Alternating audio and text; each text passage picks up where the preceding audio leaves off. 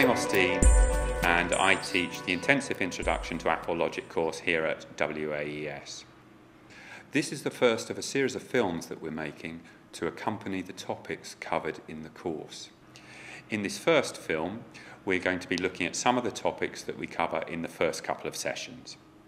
By the end of today's film, you will be able to get set up and make a simple recording using Apple Logic. So, on with the film.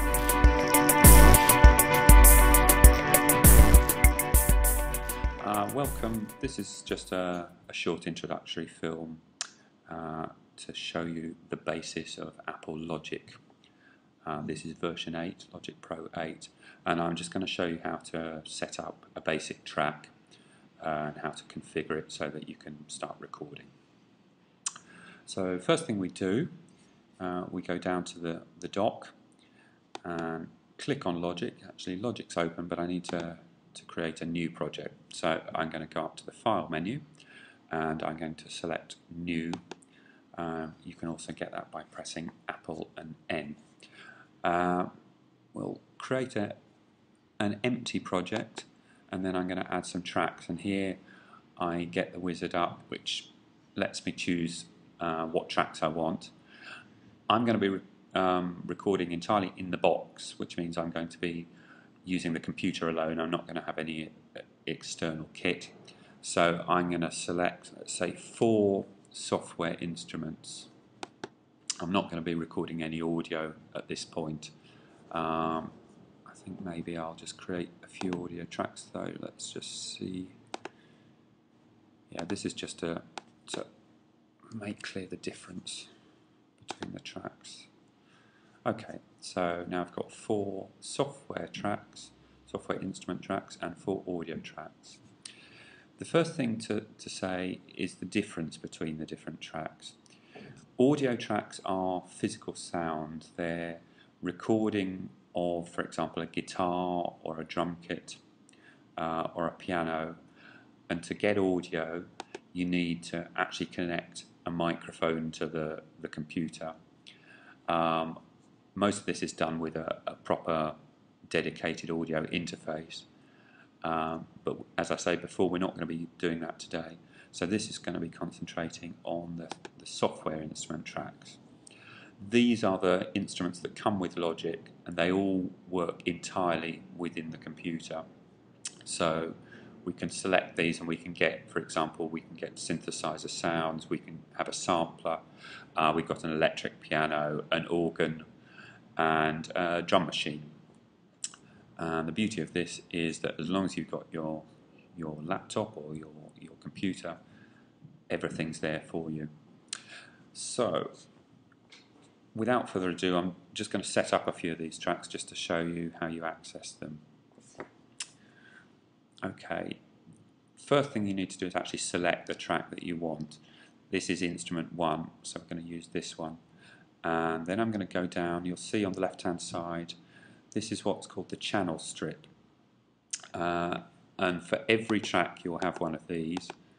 Uh, they will be pretty identical at the moment because nothing's been set up. You'll see, actually for the audio ones, they're slightly different because they've been configured um, to route directly to the mixer. This is not, the instrument tracks have not been set up at all. So I select this track and this is where I configure the track this little thing which means in out. I click on that and here I get a list of all the logic instruments up. And as you can see there's quite a few. There's a, a lot of synthesizers and there's the instruments I mentioned. So to start with I'm going to go for a drum machine. Um, this, this is always a good thing to start with. And here we get Ultrabeat. And Ultrabeat is the included logic drum machine. So I'm going to click here where it says default, this is basically telling me what instrument I've currently selected. I've not actually got anything selected as it's just opened up. So I'm going to pop down here to drum kits and select the drum and bass kit. And this then loads up some sounds. Um, one feature that's quite useful when you're getting started is the sequencer in Logic, which uh, allows you to use preset patterns. Okay, I just turn that off while I'm speaking. Um, preset patterns. So if you wanted, for example, to start playing with an, an instrument just using a loop that someone's already put together, um, you can audition these here. There's, it says number pattern, so that's number one, number two. So I'll turn this on and I'll just go through those patterns and let you have a listen. Two.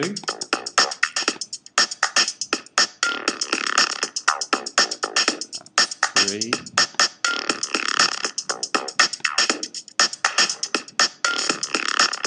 These ones are quite similar.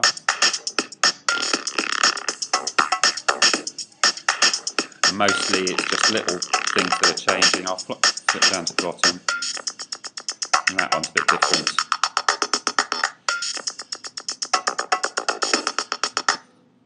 And what you can actually do with the patterns then, once you've you've auditioned them, listened to them, is if you drag them, they will go directly up into the arrange window. And that means that then if you play them back they will be in the main arrange window and you can there, therefore you can use them in your track. Okay so that that set up an instrument I'm now just going to talk a little bit about the arrange window